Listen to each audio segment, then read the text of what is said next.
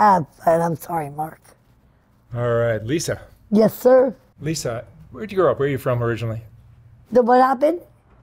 Where are you from originally? Artesia. Here California. here in Los Angeles, somewhere. No, Artesia, California. Where's that? Yes. Where's that? By Bellflower, Norwalk. Yeah, so- south of LA. Yes, sir. Artesia, Arta. Tell me about uh, your family. My family? Mm, not much of a family. My mom had her favorite. I was not a favorite, but I took care of her up until her last breath. And uh, they're both buried together, the favorites. But I, I survived. Were you the black sheep of your family? Outcast. Hmm. Yes, outcast. I'm not a black sheep. Okay. I'm an outcast. What uh, what was your childhood like in general? How would you describe it? Oh fuck! I'm, I didn't mean to say that, but I had to get it out. Oh, it was horrible. I just told you, my mom did not respect me, or in her own way. But God bless her. And my dad was not there. He left when I was seven years old, and. Uh, I basically raised myself. Any abuse? Yes, mentally and emotionally, but no physically. Mm-mm. You touch me, I'm gonna fight you back. You started drinking at some point? I'm sorry? You started drinking alcohol at some point? Yeah, at 16 years old. 16? Yes. You took to it. Yes, I did. That's what took fear away. And I could become invisible and fearless. I mean, I, I felt it. it. It's an escape. Has alcohol helped you over the long haul, or the, the, or the big picture? It's not really helping me nowadays, but uh, it helped me in a sense to think that I was more powerful, that I could take a punch or what abuse I went through, because it helped me to numb myself. You took a punch recently, it looks like. Yes, and a stabbing. Stabbing, too. What, what happened? Ooh, your arm. That's a pretty bad wound on your arm. Yeah, he stabbed me with a knife. So, but anyway, I'm here. So who, who hit you and stabbed you? I cannot say. He's out there. Oh, I see. He won't hit me again. So I keep it on the down low. Got it. Uh, but uh, guess who's going to stab me next? God. no. Do you have children, Lisa? Yes. My daughter is 35 and my son is 33. And they're awesome. I wasn't there for them. That's what made them stronger in their life. Because we can't wipe their asses all. they have to become strong. Who, raised your kids mostly? Um, well, it was me until her father died, and then uh, their mother-in-law until she died. I got them back, but a lot of things happened. They were teenagers and running wild, and then their uncle in Tennessee. Raised. You were drinking back then, too? Hell yeah. I go, hell yeah. I didn't mean to say it like that, but it's the truth. Yes. I've been drinking all my life, dude. But there were points in my life where I stayed sober. And I know what recovery is about.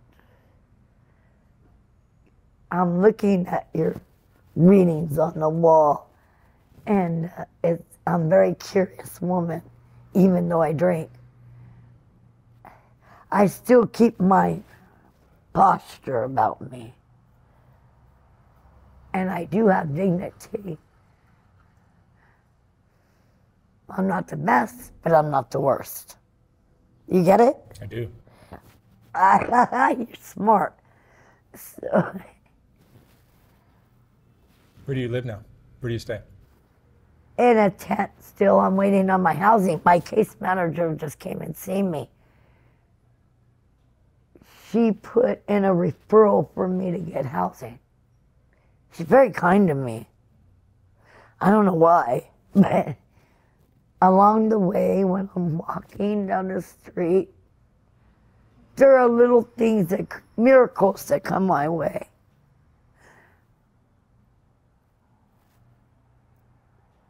I don't want to say but he keeps on taking everything away from me. But guess what? It's okay because I have faith. I might drink, but I still have it. I am me. Do you have friends? not true friends. I know what a true friend is. A friend in need is a friend indeed. The friends are the ladies who give me a dress when I didn't have nothing. Those are friends, but I don't associate too much. You look beautiful today. I'm sorry? You look beautiful today. Oh, thank you. I don't feel beautiful. Yeah, you're beautiful in blue. Maybe I go get more beautiful. Where do you get your clothes? the women's center. You give them out. People donate. Yeah, yeah. uh Yeah. The community down here is so well dressed because of all the donations that. Yes. Yeah. Oh, I know a lot of people. Ellie Can. You know Ellie Can? No. Yeah. Adam and Jennifer. Adam gave me my fifth tent.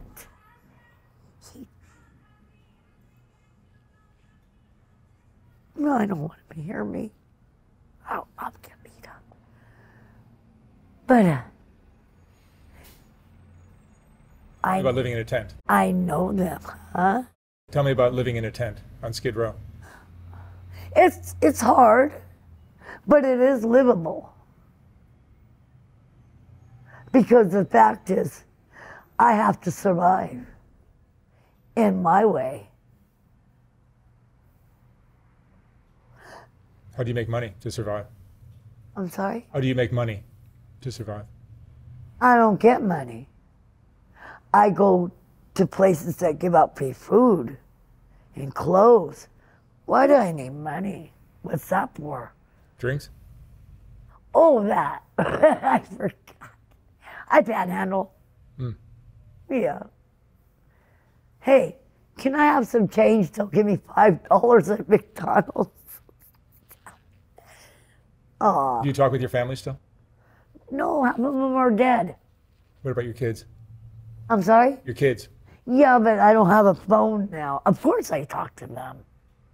I know my son's number by heart. He is beautiful. So is my daughter. I would not allow her to be out here. She is gorgeous. Felicia Ann Maxwell. And uh, she's my firstborn. And she's gorgeous. I would not ever bring her out here. For Have you been married before? You been in love? yeah, when I was 16. But yeah, I've been married twice. They're both deceased. Don't get me wrong, I didn't, I didn't do it. They did. Oh, God bless. What was the best time of your life? The best years? Your best memories? I don't think I ever had a best year, to be honest. I can't remember because I've been through a lot of suffering right now. And uh,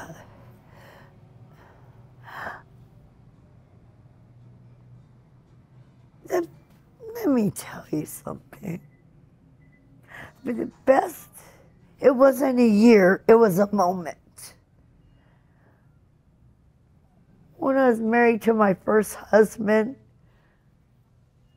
he was so good to me. I don't know what he's seen in me. I kiss his toes because they're cute. no, I don't want to talk about him. But that was the best moment, not a year. Mm-hmm. What's been the roughest time of your life? I'm sorry? What's been the hardest time of, of your life Right now? right now? Yes. How old are you now? I am coming up on 58. I'm old as fuck, but I'm not sweet 16 anymore. Um, yes, this has been the worst. Being down here as a, as a woman, is it difficult? I'm sorry? Being a, a woman here on Skid Row? Is that, Ah! you should answer that question. I've proven it, have I not? Look at the scars. yeah. That happens a lot, I think. Yes. If you had your life to live all, all over again, what would you have done differently? I would have went to college, got a degree, and raised my kids rightly, and treated them rightly, and me rightly.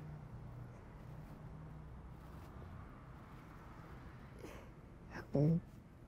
Yes.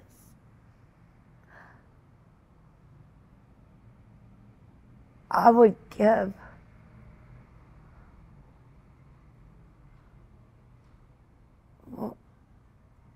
them the bedrooms and me the sofa with my little kitty. yeah.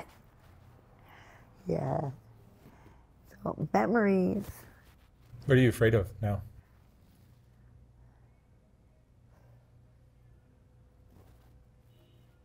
I said it. Yeah. I'm sorry. I just, I don't want him to hear me. He'll get mad. Do you have hope for the? I'm Do you sorry. you have hope for your future? Oh, yeah, I always keep hope. If I lose hope, I'll lose it. I'll lose me. What would you like? Where would you like to be in five years? Hey, how about a mansion? no, I like to be teaching others how to survive and giving them hope. Because a lot of us are hopeless. We feel hopeless, I meant to say. I take that back. But uh, I would like to encourage them that there is hope. I never lost hope. It's with me right now. Hope is right here. Hope's important. Yes, very. H O P E. What is your drink? What do you like to drink? Well, I love to drink beer. It's my specialty. I need a drink. How many beers a day will you drink? I will drink all day, but I don't get drunk anymore. I, it's funny. I used to be a blackout drinker, but now I don't do that. I'm very. Your body's gotten used to it. I watch my my agenda. I have to. Has alcohol? Would you say alcohol has ruined your life, or, or Oh yes. Oh yes. Because I allowed it to. yeah? Was there anyone else in your family that was an alcoholic? I was wondering, Yes. wondering if maybe it's genetic. Yes. I hear you.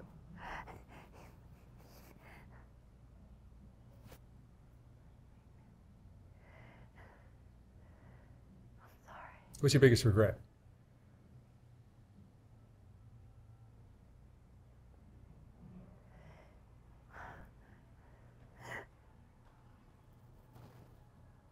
my biggest regret God, this is painful, is um,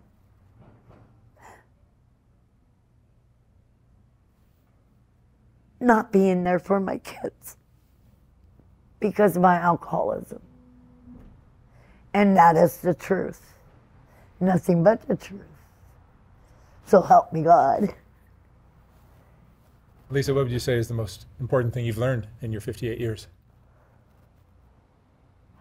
I've learned how to survive in sufferings, in caring, and now I'm learning how to respect people because they deserve it no matter what they call me.